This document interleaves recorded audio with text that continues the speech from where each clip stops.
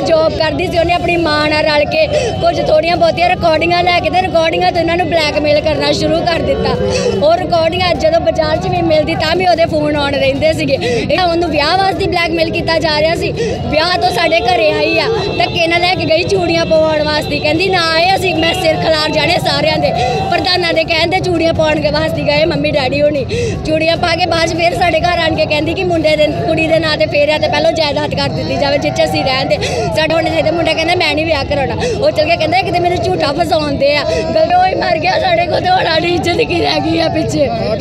ਭਾਈ, ਕੁੜੀ ਦੀ ਵੀ ਕੁੜੀ ਦੀ ਮਾਂ ਦੀ ਵੀ 8 ਲੱਖ ਦੀ ਡਿਮਾਂਡ ਸੀ। ਸਾਡੇ ਕੋਲ ਸਬੂਤ ਹੈਗੇ ਆ। ਤੁਹਾਡਾ ਮੁੰਡਾ?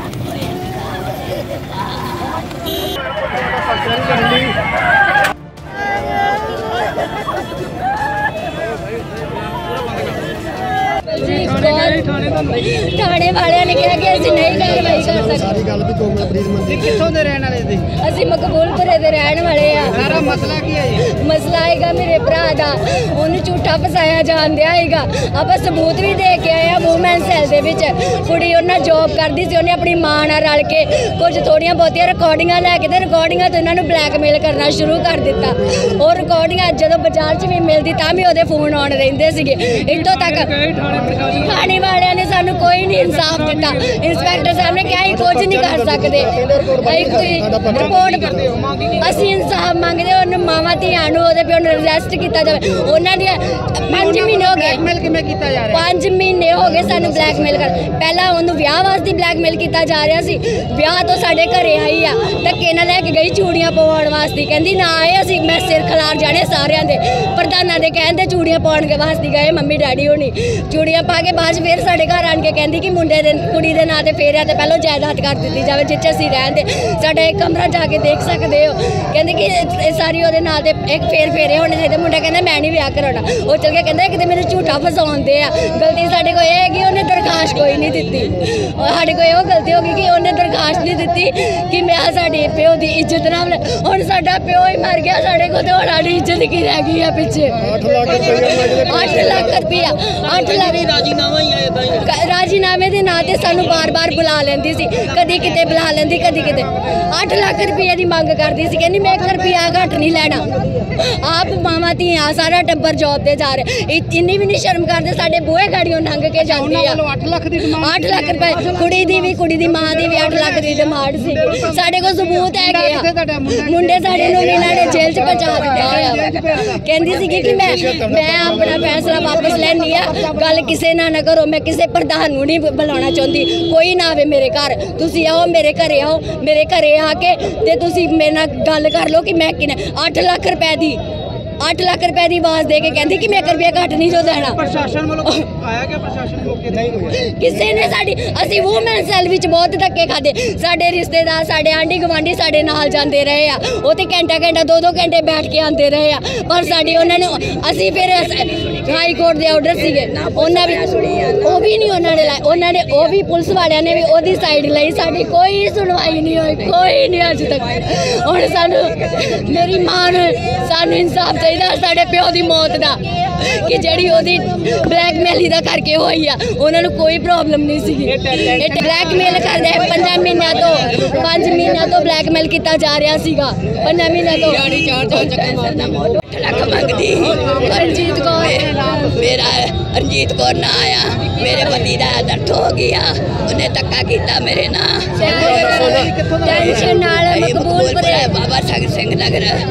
ਮਕਬੂਲਪੁਰਾ ਬਾਬਾ ਸੰਗ ਸਿੰਘ ਮਸਲਾ ਨਗਰ ਕੀ ਹੈ ਸਰ ਮਸਲਾ ਮੇਰੇ ਪੁੱਤ ਦਾ ਹੀ ਉਹਨੂੰ ਠਾਣੇ ਜੇਲ੍ਹ ਚ ਵੀ ਕਰਵਾਤਾ ਤੇ ਫੈਸਲਾ ਨਹੀਂ ਕਰਦੀ ਝੂਠੀਆਂ ਉਹਦਾ ਅੱਠ ਨਕਾਸ਼ਾ ਲੱਖ ਪਾ ਰੁਪਈਆ ਪਾ ਕੇ ਮੰਗਦੀ ਪੁਲਿਸ ਆ। ਨਾਲ ਮਿਲ ਕੇ ਇਹਨੇ ਮੇਰੇ ਇੱਥੋਂ ਕੋਲ ਅੱਠ ਤੱਕ ਲੱਖ ਰੁਪਈਆ ਮੰਗਦੀ ਆ। ਪਹੁੰਚਾਇਆ ਮੇਰੇ ਮੇਰੇ ਪਾਪਾ ਦੀ ਕੋਲ ਡੈਥ ਅੱਠ ਇਹਦਾ ਲੱਖ ਕਰਕੇ ਹੋਈ ਆ ਮੈਂ ਕਿੱਥੋਂ ਦਵਾਂ ਮੈਂ ਕਿੱਥੋਂ ਦਵਾਂ ਮੇਰੇ ਪਤੀ ਹੱਤਿਆ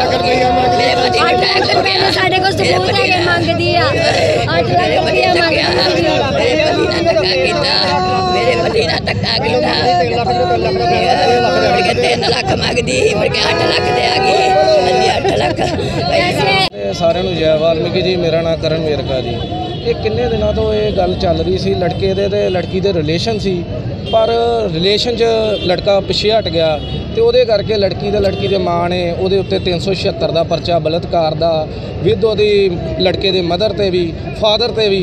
ਇਹ ਕਿੱਦਾਂ ਦਾ ਲਾਅ ਆ? ਰਿਲੇਸ਼ਨ ਇਕੱਠੇ ਰਹਿੰਦੇ ਆ। ਬਾਅਦ 'ਚੋਂ ਜੀ ਜੇ ਵਿਆਹ ਨਾ ਕਰਵਾਓ ਜਾਂ ਕੁਛ ਆ, ਤੇ ਇਹ ਬਲਤਕਾਰ ਦਾ ਪਰਚਾ ਦਰਜ ਕਰਵਾ ਦਿੰਦੇ ਆ। ਔਰ ਤੋਂ ਬਾਅਦ ਇਹਨਾਂ ਵੱਲੋਂ 8 ਲੱਖ ਰੁਪਏ ਦੀ ਡਿਮਾਂਡ ਰੱਖੀ ਗਈ ਆ ਵੀ 8 ਲੱਖ ਦੋ ਤੇ ਪਰਚੇ ਅਸੀਂ ਜਿਹੜੇ ਆ ਕੈਨਸਲ ਕਰਵਾ ਦਿੰਦੇ ਆ। ਇਹ ਬਿਲਕੁਲ ਇਨਸਾਫ ਨਹੀਂ ਆ। ਤੇ ਜਿਹਦੇ ਕਰਕੇ ਜੋ ਦਬਾਅ ਪਾਇਆ ਜਾ ਰਿਹਾ ਸੀ ਲੜਕੀ ਵੱਲੋਂ ਜਾਂ ਲੜਕੀ ਦੀ ਮਾਂ ਵੱਲੋਂ ਮਾਪਿਓ ਵੱਲੋਂ ਜੋ ਕਿ ਉਹਦੇ ਫਾਦਰ ਕੋਲੋਂ ਵੀ ਪੈਸੇ ਮੰਗਦੇ ਸੀ, ਬਾਰ-ਬਾਰ ਕਾਲਾਂ ਕਰਕੇ ਵੀ ਅਸੀਂ ਇਦਾਂ ਕਰ ਦਿੰਦੇ ਇਹਨਾਂ ਦੀਆਂ ਗਲੀਆਂ ਜਾ ਕੇ ਧਮਕੀਆਂ, ਲੜਕੇ ਨੂੰ ਧਮਕੀਆਂ ਵੀ ਜੇਲ੍ਹ 'ਚ ਵੀ ਮਰਵਾ ਦਾਂਗੇ। ਉਹਦੇ ਕਰਕੇ ਜੋ ਕਿ ਰਾਤ ਨੂੰ ਉਹਨਾਂ ਦੀ ਡੈਥ ਹੋ ਚੁੱਕੀ ਆ, ਸਵੇਰੇ ਸੌਰੀ ਡੈਥ ਹੋ ਚੁੱਕੀ ਆ। ਇਸ ਕਰਕੇ ਜੇ ਆਪਾਂ ਥਾਣੇ ਗਏ ਆ ਐਸਐਚਓ ਕੋ ਐਸਐਚਓ ਕਹਿੰਦਾ ਮੇਰੇ ਵੱਸ 'ਚ ਦੀ ਗੱਲ ਨਹੀਂ ਆ। ਮੈਂ ਕੁਝ ਨਹੀਂ ਕਰ ਸਕਦਾ, ਤੁਸੀਂ ਜੋ ਕਰਨਾ ਕਰ ਲਓ। ਇਹ ਵੇਖੋ ਜੀ, ਇਹ ਹਾਲਾਤ ਨੇ, ਇਹ ਪੁਲਿਸ ਵਾਲਿਆਂ ਦੇ ਪੁਲਿਸ ਪ੍ਰਸ਼ਾਸਨ ਦੇ, ਇਹ ਬਹੁਤ ਲੋਕਾਂ ਨਾਲ ਧੱਕਾ ਹੋ ਰਿਹਾ ਵਾ।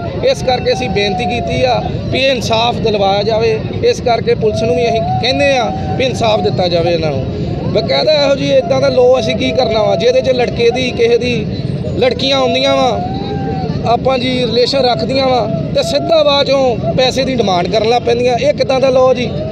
ਰਿਲੇਸ਼ਨ 'ਚ ਇਕੱਠੇ ਰਹਿੰਦੇ ਆ, ਜੇ ਵਿਆਹ ਨਹੀਂ ਹੁੰਦਾ ਤੇ ਆਪਾਂ 376 ਦਾ ਬਲਤਕਾਰ ਦਾ ਪਰਚਾ ਉਹਦੇ ਮਾਂ ਪਿਓ ਦੇ ਪਰਚਾ। ਮਾਂ ਪਿਓ ਦਾ ਕੀ ਕਸੂਰ ਆ? ਮਾਂ ਪਿਓ ਦਾ ਥੋੜੀ ਕਸੂਰ ਆ। ਦੋਨਾਂ ਦੇ ਤਰ੍ਹਾਂ ਲਾਤੀਆਂ ਗਈਆਂ 376 ਦੀ। ਮਾਂ ਪਿਓ ਤੇ ਕਾਦੀ ਬਣਦੀ ਸੀ ਜੀ?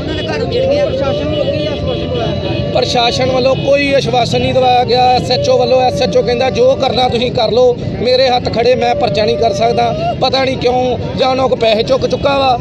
ਇਹ ਕੋਈ ਬਣਦਾ ਨਹੀਂ ਆ ਤੁੱਕ ਵੀ ਮੈਂ ਕੁਝ ਨਹੀਂ ਕਰ ਸਕਦਾ। ਤੂੰ ਆ ਯਾਰ ਉੱਥੇ ਆ ਕੇ ਉਹਨਾਂ ਦੇ ਘਰ ਆ। ਵੇਖ ਆ ਕੇ ਵੀ ਕੀ ਗੱਲ ਆ? ਆ ਇੰਨਾ ਕੱਟ ਇਕੱਠਾ ਹੋਇਆ ਸਾਰਾ ਮਹੱਲੇ ਦਾ। ਇਹ ਸਿਰਫ ਇਨਸਾਫ ਨਹੀਂ ਮਿਲਿਆ ਇਸ ਕਰਕੇ ਇਕੱਠਾ ਹੋਇਆ ਵਾ। ਵੇਖੋ ਜੀ ਜੇ ਨਹੀਂ ਮਸਲਾ ਹੱਲ ਹੁੰਦਾ ਜਿੱਦਾਂ ਡੈੱਡ ਬੋਡੀ ਆ ਅਸੀਂ ਪਰਿਵਾਰ ਦੇ ਨਾਲ ਆ। ਪਰਿਵਾਰ ਸਾਰਾ ਕਹਿੰਦਾ ਜੀ ਇੱਥੇ ਰੱਖਣੀ ਅਸੀਂ ਬੋਡੀ ਤੇ ਸੜਕ ਇਦਾਂ ਹੀ ਜਾਮ ਰਹੂਗੀ ਜੀ ਪਰਿਵਾਰ ਵੱਲੋਂ। ਜਿੰਨਾ ਮੇਰਾ ਨਾਮ ਪ੍ਰੇਮ ਸਿੰਘ ਹੈ ਮੈਂ ਇਹ ਚੰਡੋਟੀ ਦਾ ਰਹਿਣ ਵਾਲਾ ਜੀ ਇਹ ਮੇਰਾ ਜੀਜਾ ਜੀ ਆ। ਅੱਛਾ ਜੀ। ਮੁੰਡੇ ਨੇ ਰਿਲੇਸ਼ਨ ਹੀ ਕੁੜੀ ਦੀ ਮਾਂ ਨੇ ਮੁੰਡੇ ਨੂੰ ਉੱਥੇ ਲਾਇਆ ਸੀ ਕਲਫਾ ਬੰਦ ਵਿੱਚ। ਉੱਥੇ ਇਹਨਾਂ ਦੀ ਗੱਲਬਾਤ ਬਣੀ ਹੈ ਮਰਜ਼ੀ ਦੇ ਨਾਲ ਰਿਲੇਸ਼ਨ ਹੁੰਦੇ ਰਹੇ ਆ। ਮੁੜ ਕੇ ਬਲੈਕਮੇਲ ਕਰਦੇ ਰਹੇ ਵੀ ਵਿਆਹ ਕਰਾ ਮੁੰਡਾ ਦਾ ਸੀ ਮੈਂ ਵਿਆਹ ਨਹੀਂ ਕਰਾਉਣਾ। ਨੇ ਵਿਆਹ ਕਿਤੇ ਹੋਰ ਕੇ ਕਰਾ ਕੇ ਤੇ ਹੁਣ ਇਹਨਾਂ ਕੋਲ ਡਿਮਾਂਡ ਕਰਦੇ ਰਹੇ 8 ਲੱਖ ਰੁਪਏ ਸਾਨੂੰ ਦੋ ਉੱਥੇ ਰਹੀ ਫੈਸਲਾ ਕਰਨਾ। ਥਾਣੇ 'ਚ ਵੀ ਧੱਕੇ ਖਾਂਦੇ ਰਹੇ ਪਰ ਸਾਡਾ ਕੋਈ ਨਹੀਂ ਸੁਣਦਾ ਰਿਹਾ ਹੁਣ ਤੁਸੀਂ ਥਾਣੇ ਗਏ ਤੇ ਥਾਣੇ ਵਾਲਿਆਂ ਨੇ ਕੀ ਥਾਣੇ ਵਾਲੇ ਨੇ ਸਾਡਾ ਪਰਚਾ ਨਹੀਂ ਦਰਜ ਕੀਤਾ ਵੀ। ਸਾਕ ਬਣ ਨਹੀਂ ਸਕਦਾ। ਵੀ ਸਾਨੂੰ ਇਨਸਾਫ ਚਾਹੀਦਾ ਵਾ। ਸਾਡਾ ਜੀਜਾ ਮੈਂ ਗਿਆ ਮੁੰਡਾ ਸਾਡਾ ਵੀ ਜੇਲ੍ਹ ਦੇ ਵਿੱਚ ਘਲਾਇਆ ਹੋਇਆ ਇਹਨੇ ਇੱਥੇ ਹੁਣ ਕੋਈ ਪਹੁੰਚਿਆਗਾ ਪੁਲਿਸ ਪ੍ਰਸ਼ਾਸਨ? ਨਾ ਕੋਈ ਨਹੀਂ ਅਜੇ ਤੱਕ ਨਹੀਂ ਕੋਈ ਪਹੁੰਚਿਆ ਵੀ ਅਸੀਂ ਉਹਨੂੰ ਜੇ ਸ਼ਿਕਾਰ ਨਹੀਂ ਕਰਨਾ ਜਿਵੇਂ ਤੱਕ ਸਾਨੂੰ ਇਨਸਾਫ ਨਾ ਮਿਲਿਆ ਇਸ ਲਈ ਜਿਹੜੀ ਡੈਥ ਹੋਈ। ਪਹਿਲਾਂ ਲੱਖ ਲੱਖ ਤੋਂ 8 ਲੱਖ ਜਾਂਦੀ 8 ਲੱਖ ਰੁਪਏ ਕਿੱਥੇ ਦੇਣ? 8 ਲੱਖ ਦਾ ਥਾਂ ਨਹੀਂ ਜਿਹੜਾ ਵੇਚ ਕੇ ਦੇ ਦੇਣਾ। ਇੱਕ ਤੇ ਕਮਰਾ ਸਾਰਾ ਇੱਕ ਹੀ ਰਸੋਈ ਆ। ਤੇ ਪੰਜੀ ਗੱਲ ਸਾਰੀ ਜਗ੍ਹਾ ਵਾ ਤੇ ਅਸੀਂ ਕਿੱਥੋਂ 8 ਲੱਖ ਰੁਪਏ ਦੇਈਏ? ਮੈਂ ਹੁਣੇ ਉਹ ਯਾਰ ਪਤਾ ਨਹੀਂ ਦੱਸਣ ਦੇ ਵੀ ਡੈਥ ਜੀ ਹੋ ਗਈ ਕੋਈ ਟੈਨਸ਼ਨ ਕਾਰਨ ਕਿਸੇ ਦੀ ਕੋਈ ਬਰਾ- ਹੋਈ ਨਹੀਂ ਗੱਲਬਾਤ। ਬਾਕੀ ਵੈਰੀਫਾਈ ਕਰਦੇ ਕੀ ਗੱਲਬਾਤ ਹੈ ਫਿਰ ਉਸ ਹਿਸਾਬ ਨਾਲ ਵੇਖ ਲੈਂਦੇ। ਇਹਨਾਂ ਵੱਲੋਂ ਕਿਹਾ ਗਿਆ ਜੀ ਇਹਨਾਂ ਨੂੰ ਫਸਾਇਆ ਯਾਰ 8 ਲੱਖ ਦੀ ਡਿਮਾਂਡ ਕੀਤੀ ਜਾ ਨਹੀਂ ਸਾਨੂੰ ਇਹ ਮੇਰੇ ਬਾਰੇ ਹਜੇ ਕੋਈ ਨੌਲੇਜ ਮੈਂ ਤਾਂ ਹਜੇ 2 ਮਿੰਟ ਹੀ ਹੋਏ ਆਏ ਨੂੰ ਤੇ ਇਹਨਾਂ ਨੂੰ ਧਰਨਾ ਦਿੱਤਾ ਸੀ। ਮੈਂ ਇਹਨਾਂ ਨੂੰ ਪੁੱਛ ਰਿਹਾ ਵੀ ਕੀ ਗੱਲਬਾਤ ਹੈ ਦੱਸੋ ਸਾਨੂੰ। ਪੁਲਿਸ ਹਰ ਦੀ ਹੈਲਪ ਵਾਸਤੇ ਆ ਇਹਨਾਂ ਦੀ ਹੈਲਪ ਵਾਸਤੇ ਹੀ ਬੈਠੀ ਆ। ਇਹਨਾਂ ਵੱਲੋਂ ਕਿਹਾ ਕਿ ਐਸਐਚਓ ਤੋਂ ਵੀ ਗਏ ਉਹਨਾਂ ਨੇ ਵੀ ਸਾਨੂੰ ਕੋਈ ਆਸ਼ਵਾਸਨ ਨਹੀਂ ਦਵਾਇਆ ਜੀ। ਨਹੀਂ ਨਹੀਂ ਇਹ ਕੋਈ ਗੱਲਬਾਤ ਨਹੀਂ ਹੈ ਮੈਂ ਐਵੇਂ ਬਦਨਾਮ ਕਰਨ ਜੋ ਮਰਜ਼ੀ ਗੱਲਾਂ ਕਰੀ ਜਾਈ ਗੱਲ ਦਾ ਕੋਈ ਮੁੱਲ ਥੋੜੀ ਆ। ਜਦੋਂ ਸਿਆਣੇ ਬੰਦੇ ਆਉਣ ਆਪਣੀ ਗੱਲ ਕਰਨ ਆਪਣੀ ਆਪਣਾ ਪੱਖ ਰੱਖਣ ਜਿਹੜੀ ਗੱਲ ਬੰਦੀ ਵੇਖ ਲੈਣਗੇ ਪੁਲਿਸ ਅਫਸਰ ਕਾਦੇ ਵਾਸਤੇ ਬੈਠੇ ਆ? ਸਰ ਪਰਿਵਾਰ ਨੂੰ ਇਨਸਾਫ ਮਿਲੇਗਾ ਜੀ? ਬਿਲਕੁਲ ਮਿਲੇਗਾ ਗੁਰੂ ਮਹਾਰਾਜ ਦੀ ਕਿਰਪਾ ਸਾਰਿਆਂ ਨੂੰ ਇਨਸਾਫ ਮਿਲੇਗਾ।